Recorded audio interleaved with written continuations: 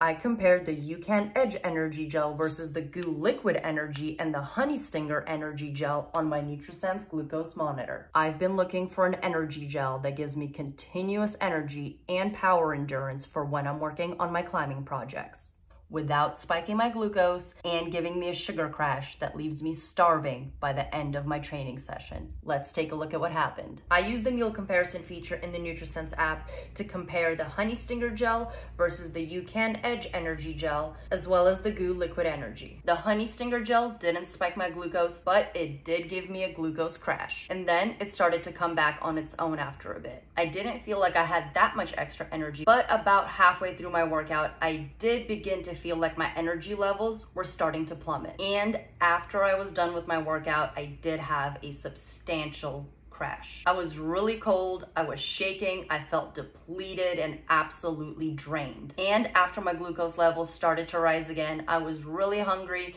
and craving carbs and sugar. The GU liquid energy gel did spike my glucose and it also gave me a sugar crash. It stayed low for a bit and then started to come back up on its own. But I didn't have the same reaction that I did as with the Honey Stinger gel. It did give me some energy during my workout, but towards the later half of my session, I did feel my energy levels substantially start to drop off. I was also hungry and craving carbs and sugar. With the UCAN Edge Energy Gel, my glucose levels stayed stable throughout my entire workout. I was able to push consistently through my workout from start to finish. There were no energy dips. I didn't feel like I was starting to crash. I felt tuned in and focused and like my body was performing at its best. I felt like I could have just kept going and that I had more to give. I also felt a lot better after my workout with the UCAN Edge Gel. I didn't feel like I was exhausted or drained and I didn't have any cravings for carbs or sugars. If you wanna have consistent energy throughout your whole workout from start to finish,